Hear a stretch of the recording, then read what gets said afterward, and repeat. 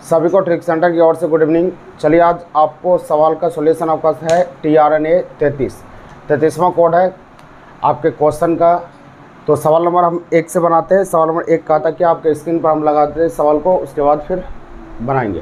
पहला सवाल कहा था, एक व्यापारी पंखे पर वास्तविक मूल्य से 40 प्रतिशत अधिक मूल्य अंकित करता है तथा इस पर 15 प्रतिशत का बट्टा देता है तो वह कितना प्रतिशत का लाभ कमाता है? ध्यान देंगे कि सवाल कहता है, एक व्यापारी एक पंखे पर 40 परसेंट अधिक मूल्य अंकित करता है। 40 परसेंट अधिक मतलब क्या? 40 ज़्यादा। और इस पर 15 प्रतिशत का बट्टा देता है। बट्टा मतलब होता है छूट यह माइनस कर रहा है।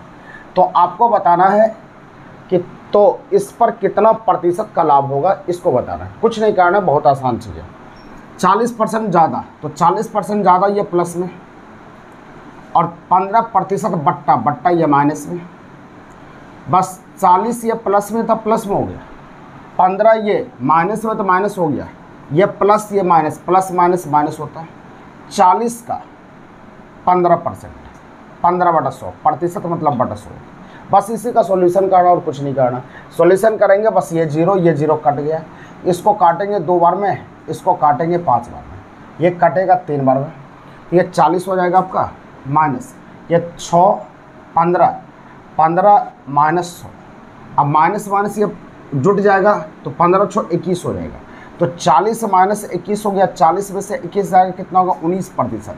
यह प्लस में आया, इसलिए आप बोलेंगे उन्नीस प्रतिशत का लाभ होगा। यही आंसर होगा ये उत्तर है समझ आ गया? उन्नीस परसेंट का फ़ायदा हो जाएगा, यही आंसर होगा। समझ आ चुका होगा? कुछ नहीं करना, देखिए देखिए ध्यान से। चालीस प्रतिशत प्लस में, चालीस। पंद्रह प्रतिशत माइनस में माइनस में, माइनस कर दिए प्लस माइनस माइनस हो गया। चालीस का पंद्रह परसेंट। बस निकाल के छोड़ देंगे आंसर हो गया। बस इतना ही काम करने की ज़रूरत है और कुछ नहीं करना, आपको उत्तर हो जाएगा। चलिए, सवाल आगे बढ़ाते हैं, अगले सवाल की ओर आते हैं, अगले सवाल को देखिए। अगला सवाल हम हल कर रहे हैं, ध्यान देंगे। सवाल आगे कहता है, सवाल नंबर दो। दो नंबर कहता है क्या है? ध्यान देंगे। दो नंबर सवाल आपके स्क्रीन पर लगा रहे हैं, ध्यान देंगे। दो नंबर सवाल आपके स्क्रीन पर हम लगा देते हैं, ध्यान दीजिएगा। नंबर दो कहता है एक घड़ी विक्रेता अंकित मूल्य से पाँच प्रतिशत का बट्टा देता है। यदि वह सात प्रतिशत का बट्टा दे तो तीस रुपया कम लाभ होता है। पाँच प्रतिशत का बट्टा दिया। यदि वह सात प्रतिशत का बट्टा देगा तो तीस रुपया कम लाभ होगा। तो यहाँ पाँच परसेंट के बदला सात प्रतिशत दे दिया तो तीस रुपया कम लाभ हुआ। क्यों लाभ हुआ? पाँच से सात हुआ, दो ज़्यादा दिया तब ना? तो दो के कारण तीस हो गया। तो दो कलम का दाम तीस रुपया तो एक कलम का दाम कितना होगा? पंद्रह रुपये। तो आपको पूछा जा रहा है तो बताइए कि घड़ी का अंकित मूल्य क्या अंकित मूल्य सौ कलम का दाम निकलता है, सौ पर आप निकालेंगे तो पंद्रह गुना सौ करेंगे यह आपका रिज़ल्ट हो जाएगा पंद्रह सौ। यही घड़ी का अंकित मूल्य आंसर हो। समझ आ गया? कुछ नहीं है, बहुत आसान चीज़ है। पाँच से सात हो गया दो, ज़्यादा तो दो में तीस, एक में पंद्रह, सौ में पंद्रह सौ। आंसर हो गया ये उत्तर हो। चलिए, अगले सवाल की ओर आइएगा, अगले सवाल को देखिए। सवाल ये देखिए, सवाल नंबर तीन तीन को समझिए, तीन कहा था क्या तीन नंबर सवाल बोला जा रहा है आपको। सवाल नंबर थ्री कहता है? आपके स्क्रीन पर लग गया, एक वस्तु के अंकित मूल्य पर पंद्रह प्रतिशत का बट्टा देता है, फिर भी बीस प्रतिशत का लाभ होता है। तो अंकित मूल्य, क्रय मूल्य से, यदि अंकित मूल्य क्या होगा? यदि वस्तु का क्रय मूल्य एक सौ तिरपन रुपया ध्यान दीजिए। सवाल बोला जा रहा है कि एक वस्तु के अंकित मूल्य से पंद्रह प्रतिशत का बट्टा दिया। पंद्रह प्रतिशत का बट्टा दिया तो पंद्रह परसेंट बट्टा को हम लिख सकते हैं माइनस में। बट्टा मतलब छूट हो गया। अब उसके बाद कहता है पंद्रह प्रतिशत बट्टा देने के बाद पंद्रह प्रतिशत बट्टा देने के बाद फिर भी कितना हो गया? बीस प्रतिशत का लाभ हो गया। बीस प्रतिशत का ये लाभ हो गया। अब उसके बाद बोलता है घड़ी का अंकित मूल्य एक सौ तिरपन रुपया। घड़ी का मूल्य, अंकित मूल्य एक सौ तिरपन रुपया है तो वस्तु का क्रय मूल्य क्या है? क्रय मूल्य एक सौ तिरपन है तो अंकित मूल्य चाहिए। कुछ नहीं करना, ध्यान दिए। बहुत ईजी है। आप ध्यान देंगे कि अंकित मूल्य पर छूट होता है क्रय मूल्य पर लाभ या हानि होता है। ये दो में से एक चीज़ होगा। तो आपको एक सौ तिरपन रुपया ये क्रय मूल्य दिया है। तो क्रय मूल्य के साथ ऊपर जो होगा, उसको लिखिएगा। फिर जो लास्ट में होगा, उसको लिखना है, इसको पकड़िए। ऊपर होगा, जो ऊपर लिखिएगा जो नीचे होगा, नीचे लिखेंगे। ये क्रय मूल्य दिया क्रय मूल्य के साथ लाभ या हानि होगा। बीस परसेंट लाभ, बीस परसेंट लाभ को एक सौ बीस। बट्टा, पंद्रह प्रतिशत बट्टा, पंद्रह परसेंट बट्टा को पचासी लिखेंगे। बस, ये सॉल्यूशन करना है आपको। सॉल्यूशन कर लेंगे, आपका आंसर हो जाएगा। सत्रह से काटेंगे। सत्रह पर जब पचासी सत्तर नम्बर तिरपन्ना से। ये पाँच से काटेंगे। पाँच से काटेंगे, चौबीस बार में कट गया तो नौ गुना चौबीस। ये दो सौ सोलह आ गया। यही रिज़ल्ट होगा, यही आंसर समझ में आ गया? दो सौ सोलह गया फिर से इसको हम बता रहे ध्यान दीजिए। तो आपको कारण कुछ नहीं है, ध्यान देंगे। याद रखना है कि क्रय मूल्य पर लाभ या हानि होता है। क्रय मूल्य पर लाभ या हानि होता है। तो क्रय मूल्य एक सौ तिरपन है, बीस परसेंट लाभ को। एक सौ बीस लिख दिया जो बच गया, पंद्रह परसेंट बट्टा, वो नीचे लिखेंगे अंकित मूल्य रहता तो ये बट्टा जाता ऊपर, और जो बचता उसको नीचे लिखते हैं। बस इतना ही काम करना और कुछ नहीं करना है।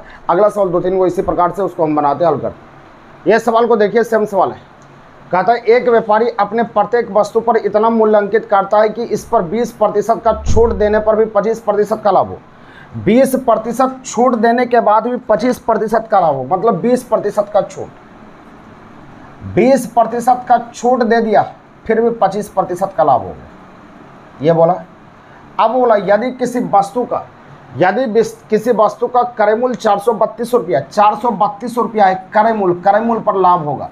तो लाभ को लिख देते हैं एक सौ पच्चीस। और जो बच गया बीस परसेंट छूट, बीस परसेंट छूट को अस्सी। बस इसी का सॉल्यूशन करना।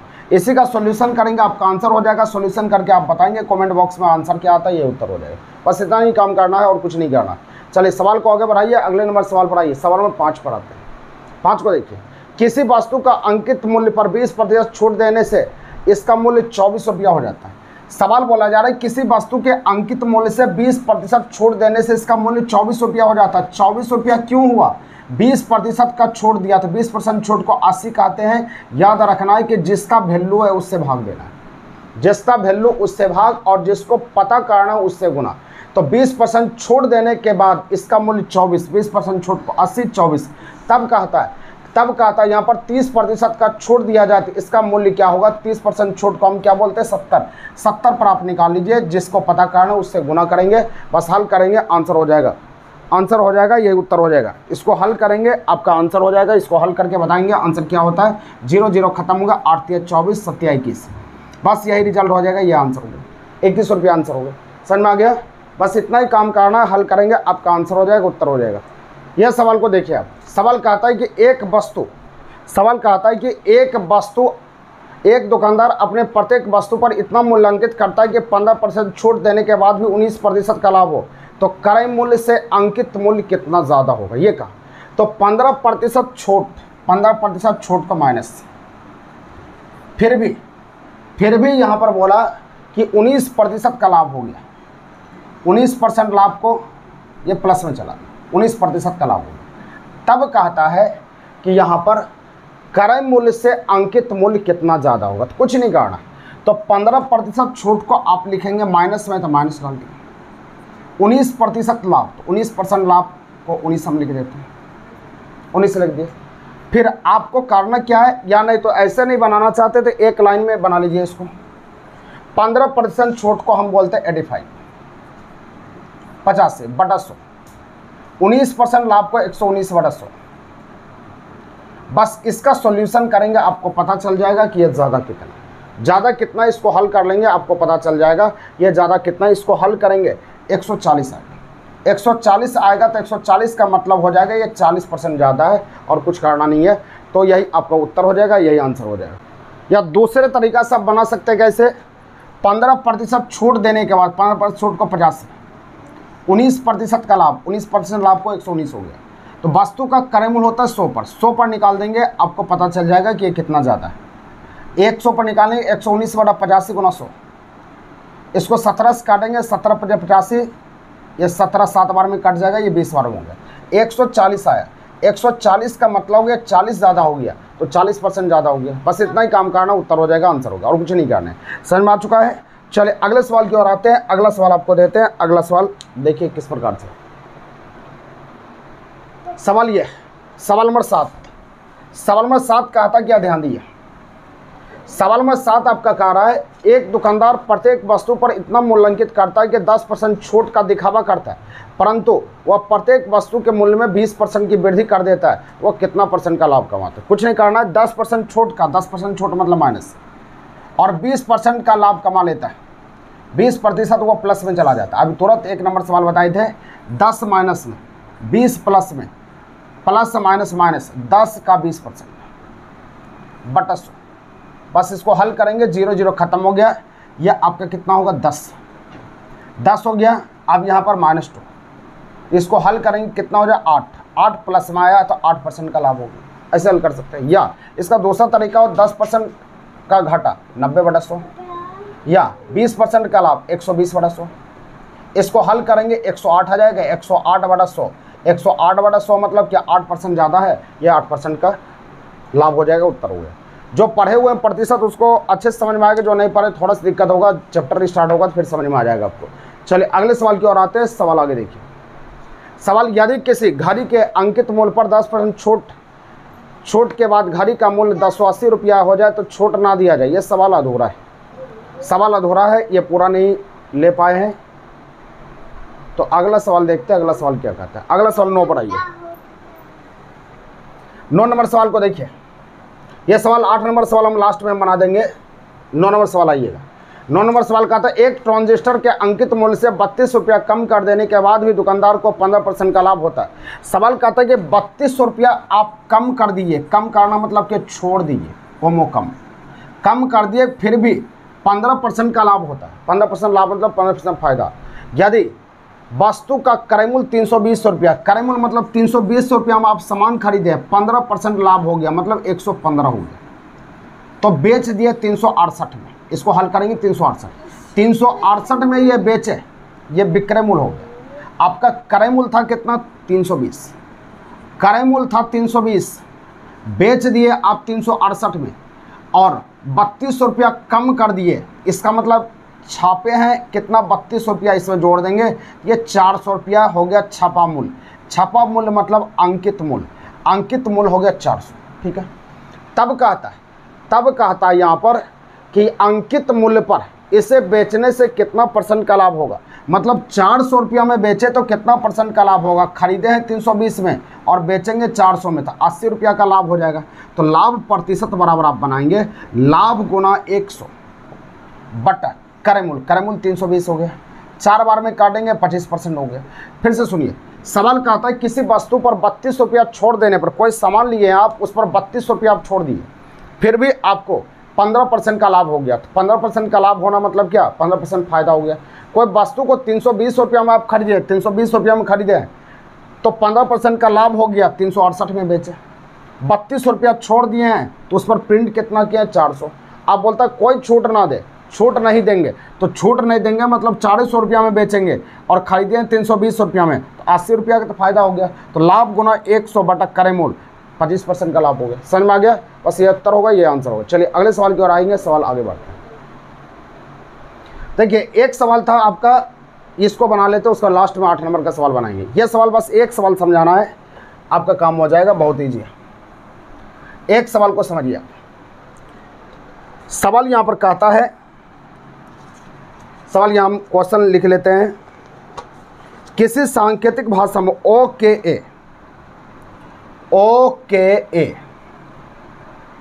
P E R U इसका मतलब है F I N E C L O T H उसके बाद बोलता है M E M E T A L I S A इसका मतलब C L E A R water W A T E R उसका है D O N A L I S A P E R U इसका मतलब है F I N A fine C L E A R clear water W E A T H E R weather तो आपको बताना weather W E A T H E R weather के लिए कौन सी संख्या पड़ी ये सवाल. तो आपको कुछ नहीं करना, सिर्फ़ ध्यान देना है. एक जगह जो मौजूद होगा वेदर यहाँ पर उसका आंसर इसी तीनों में से वही होगा जो कहीं नहीं होगा. एक जगह जो होगा, उसका आंसर वही होगा, इस तरफ़ वाला का आंसर इस तरफ़ इस तरफ़ वाला का आंसर इस तरफ़। एक तरफ़ जो होगा, उसका आंसर वही होगा, जो कहीं नहीं होगा। तो आप देखिए डी ओ एन ई कहीं मिल रहा है क्या? नहीं मिल रहा। एल आई एस ए यहाँ मिल रहा है, ये नहीं होगा। पी ई आर ये नहीं होगा। इसीलिए आपका answer D O N A answer समझ में आ गया? ये उत्तर हो जाएगा। अगर कहता यहाँ पर, अगर कहता आपको कि क्लियर का आंसर क्या होगा? क्लियर यहाँ पर भी है, क्लियर यहाँ पर भी ठीक है? दो जगह है तो ये दोनों में कौन ऐसा चीज़ है जो कि दोनों मिल रहा है? L I S L I S A answer हो जाएगा तो बस मुख्य बात ये हो गया कि एक जगह जो रहेगा, उसका आंसर वही होगा जो कहीं नहीं होगा। और दो जगह रहेगा तो दोनों में देखना है कि कॉमन पार्ट किसमें है, वही उत्तर हो जाएगा, वही रिज़ल्ट हो जाएगा, ये सवाल का ये आंसर होगा। तो आप बना सकते हैं आगे आगे बना के आप बताएँगे अगला का आंसर क्या होता है, हल करके बताइएगा, सिर्फ़ ध्यान रखना है एक जगह होगा तो उसका आंसर वही होगा, जो कहीं नहीं होगा, दो जगह होगा, जो होगा कॉमन वही रिज़ल्ट हो जाएगा, वही आंसर हो जाएगा। कोई दिक्कत नहीं, आठ नंबर सवाल को देख लेते हैं हम, उसको बना देते हैं। आपके स्क्रीन पर आठ नंबर सवाल नहीं आ पाया तो उसको हम बना देते, ध्यान दिए आठ नंबर सवाल क्या था आठ नंबर सवाल क्या कहा था ध्यान दिए आठ नंबर सवाल यहाँ पर बोला जा रहा है। आठ नंबर सवाल यहाँ पर कहता है एक किसी घड़ी का अंकित मूल्य पर 10 प्रतिशत छूट देने के बाद घड़ी का मूल्य दस सौ अस्सी रुपया दस सौ अस्सी रुपया आठ प्रतिशत, दस प्रतिशत का छूट दिया। दस परसेंट छूट को हम नब्बे कहते हैं। दस परसेंट छूट मतलब क्या? नब्बे हो गया तो दस सौ अस्सी रुपया हो गया। तो घड़ी का अंकित मूल्य सौ पर होता है। तो सौ पर होता है तो अंकित मूल्य बारह सौ हो जाएगा। ये अंकित मूल्य बारह सौ मतलब छपा हुआ मूल्य बारह सौ हो गया। उसके बाद कहता है, उसके बाद कहता है, दुकानदार, यदि यदि छूट ना दे तो दुकानदार को 20 प्रतिशत का लाभ होता है। मतलब बारह सौ रुपया में सेल कर देते तो 20 प्रतिशत का लाभ हो गया। 20 परसेंट लाभ को 120 कहते हैं। 120 हो गया। तो वस्तु का क्रय मूल्य क्या है? तो एक सौ पर निकालिएगा क्रय मूल्य आपका एक हज़ार हो जाएगा। यही रिज़ल्ट हो गया आंसर इसी तरह बनाना उम्मीद करते हैं कि समझ में आ गया होगा। नेक्स्ट वीडियो के साथ आगे आते तब तक के लिए ट्रिक सेंटर की ओर से जय हिंद।